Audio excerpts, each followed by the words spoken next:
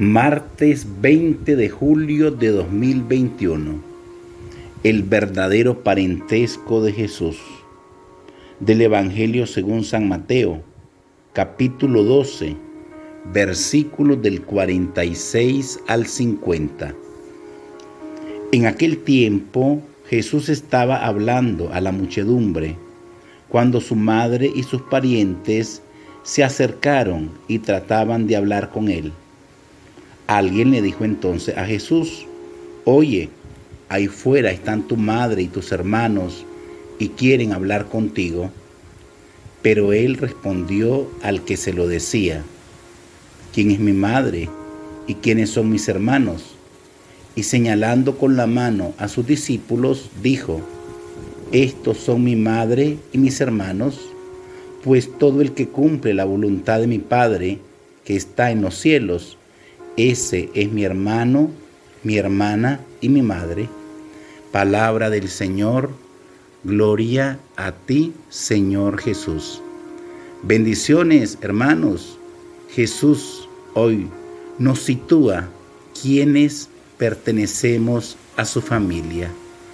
Todo aquel que escucha la palabra de Dios y la pone en práctica el verdadero parentesco de Jesús consiste en aceptar la voluntad de Dios, en cumplir la voluntad de Dios. Y quien cumplió la voluntad de Dios de una manera excelentísima es la Santísima Virgen María. Por eso Jesús la pone como un modelo. Ella, la Santísima Virgen María, escuchó plenamente la palabra de Dios y la puso en práctica, tanto que la palabra viva, la palabra eterna de Dios, Jesucristo nuestro Señor, se encarnó en su vientre purísimo, con su aceptación voluntaria por obra del Espíritu Santo, y la palabra eterna de Dios se hizo carne en el vientre purísimo de María, por obra del Espíritu Santo con su aceptación voluntaria.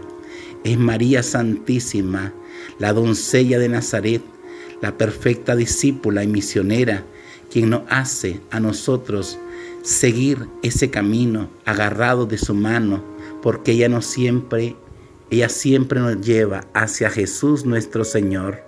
Santísima Virgen María, ruega por nosotros.